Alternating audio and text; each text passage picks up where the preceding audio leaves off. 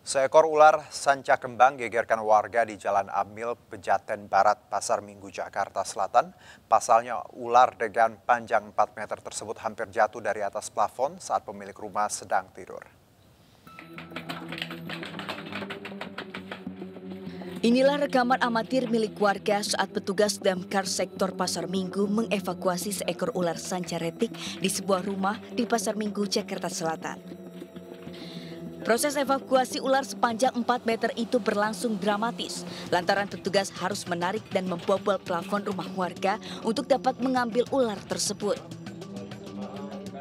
Pemilik rumah mengaku kaget karena ular hampir jatuh dari atas plafon di saat dirinya dan keluarga sedang tertidur.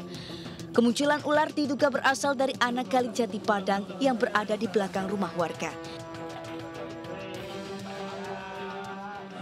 Hampir jatuh dan itu saya kebetulan sedang tidur.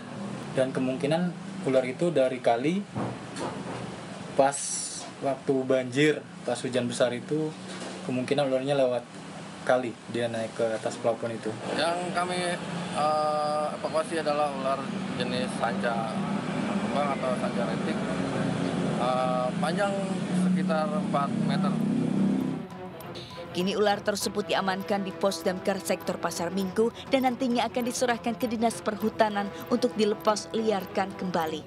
Dari Jakarta Selatan, Denhan Musa Jampati Ayus melaporkan.